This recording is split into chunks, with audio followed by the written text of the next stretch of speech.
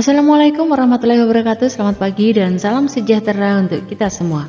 Jumpa lagi dengan video pembelajaran cerdas tangkas untuk kelas 3 sekolah dasar.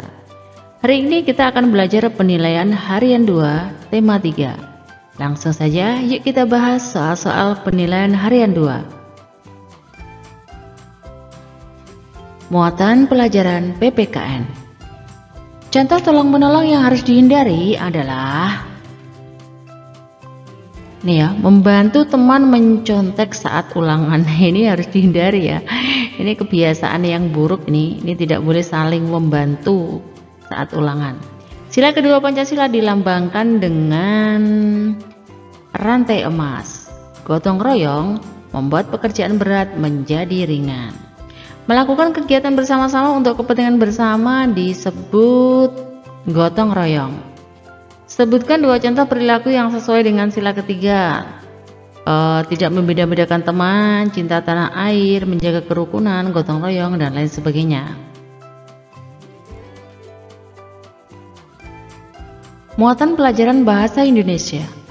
Kalimat berikut yang berhubungan dengan wujud benda yang benar, kecuali berarti kecuali itu yang malah salah ya.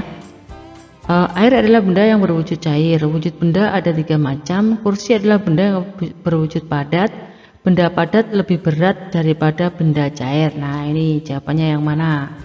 Benda padat lebih berat daripada benda cair. Besi termasuk benda padat yang bahannya berasal titik-titik alam. Nah, ini untuk melengkapi ini dari berasal dari alam. Ardi dan Rahma menuangkan minyak goreng ke dalam botol. Ini penulisan huruf kapital adalah A-nya besar, R-nya besar. Jadi Ardi dan Rahma A-nya besar, R-nya juga besar. Nomor 9, udara termasuk benda yang wujud gas. Kata dalam kurung yang berwujud gas. Buatlah sebuah paragraf yang berisi tentang benda yang terbuat dari bahan plastik Misalnya, ember digunakan untuk tempat air, ember terbuat dari bahan plastik dan sel selanjutnya bisa dituliskan sendiri ya.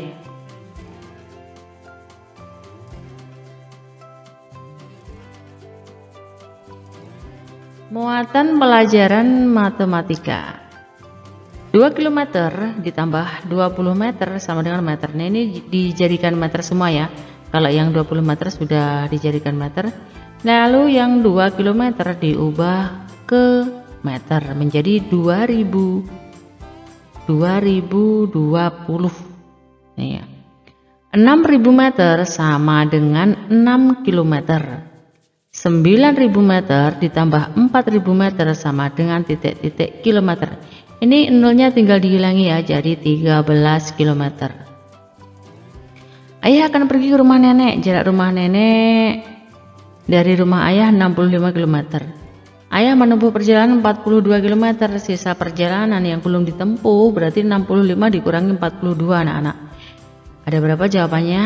Ya, ada 23 km yang belum ditempuh oleh ayah. Rama akan pergi ke sekolah melewati pasar. Jarak rumah Rama dengan pasar 215 meter. Jarak pasar ke sekolah 156 meter. Berapa meter jarak yang ditempuh Rahma dari rumah ke pasar? Jawabannya adalah ini ditambah ya 215 ditambah 156 371 Muatan pelajaran SBDP Gerakan angin sepoi-sepoi merupakan contoh gerakan yang lemah, apa kuat, apa ringan, apa berat. Iya, gerakan yang lemah ya.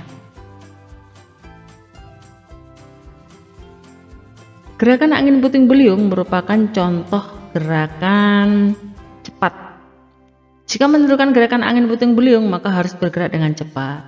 Melakukan gerakan cepat, contohnya menirukan gerakan angin puting beliung. Berikan dua contoh gerakan lemah, misalnya angin sepoi-sepoi, kupu-kupu yang sedang melambaikan sayapnya, dan lain-lain. Muatan pelajaran PJOK Saat memantulkan bola ke lantai, pandangan mata ke arah mana anak-anak? Ya ke arah lantai, nanti ke, ke arah samping ya bisa tidak bisa menangkap bolanya ya. Memantulkan bola ke arah lantai berarti mengarahkan bola ke lantai. Latihan memantulkan bola ke lantai termasuk latihan dasar gerakan memantulkan bola. Memantulkan bola ke lantai sambil berjalan disebut juga dengan mendribble. Apa yang harus dilakukan sebelum bermain memantulkan bola? Tentu kalian harus melakukan apa anak-anak? Iya, melakukan pemanasan. Demikian tadi pembahasan yang bisa Ibu sampaikan ya. Mohon maaf jika banyak kesalahan dan kekurangan. Sampai jumpa di video pembelajaran berikutnya. Ibu akhiri. Wassalamualaikum warahmatullahi wabarakatuh.